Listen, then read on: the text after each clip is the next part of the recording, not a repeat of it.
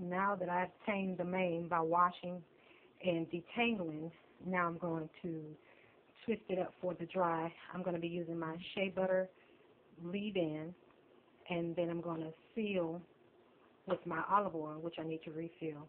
Um, but for the sake of the video, it's a little in there. And this is my olive oil that I seal with.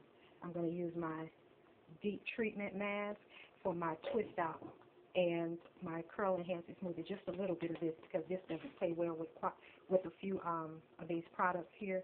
And then I'm going to slip down my edges with uh, this, and this has become my new hair product. I was using the protein, um, which I did like. I didn't have anything against it, and I did use the olive oil, but this is my newbie here that I'm trying um, for the next few months because this normally lasts me a month, and I only use it if I'm doing a pullback ponytail puff or whatever you call it, and this is my water bottle when my hair starts to get dry. And this is what I'll use my Denman brush and my wide tooth comb to uh, straighten out my edges.